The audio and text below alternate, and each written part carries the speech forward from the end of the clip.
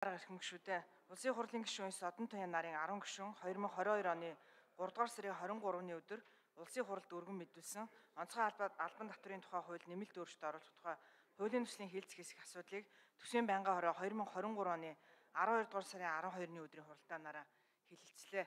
Төсөл санаачлагчид хүн амын дунд чихэрлэг, хэд чихэрлэг ундааны хэрэглээ ихэж байгаатай холбогдуулан хэд тархалтаас урьдчилан сэргийлэх, чихрийн шижинг бууруулах зорилгоор чихэрлэг ундааны онцгой албан татварыг нэмэхээр тусгасан бөгөөд ингэснээр үйлдвэрлэж буй оны чихэрлийн хэмжээг багасгах, импортоор оруулж ирэх хувийг бууруулах, түүнийг орлох, эрүүл хүнс болон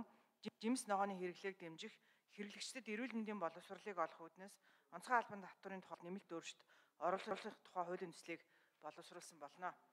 Байнгын орооны хуралдаанаар хуулийн төслийг хийлцэх үед улсын хурлын гишүүдээс асуулт гараагүй бөгөөд улсын хурлын гишүүнтэй өнөр боллоор энэ хууль батлагдсанаар хилээс сөрөг нөлөөлөл тодорхой хэмжээгээр буурах боловч цаашид эрүүл хооллолт чихэрлэг ундааны зохистой хэрэглээ зөв дадлыг хэвшүүлэх талаар нийгмийн эрүүл мэндийн болон хэвлэл мэдээллийн байгууллагууд хамтарч ажиллах нь үүтэй хэмээн гэсэн саналыг хэлсэн болно. Онцгой албан татврын тухай хуульд нэмэлт өөрчлөлт оруулах тухай хуулийн төслийг үжил баримтлалын хүрээнд хилцгийг байнгын орооны хуралдаанд оролцсон гишүүдийн олонх дэмжиж чуулганы нэгдсэн хуралдаанаар хилцүүлэх нь зүйтэй гэж үзлээ. Улсын хурлын эрхэм гишүүдээ онцгой албан татврын тухай хуульд нэмэлт өөрчлөлт оруулах тухай хуулийн төслийн хилцэх хэсэг талаарх төсвийн байнгын орооны санал дүгнэлтийг хилцэн шийдвэрлэж өгөхийг та бүхнээс хүсье.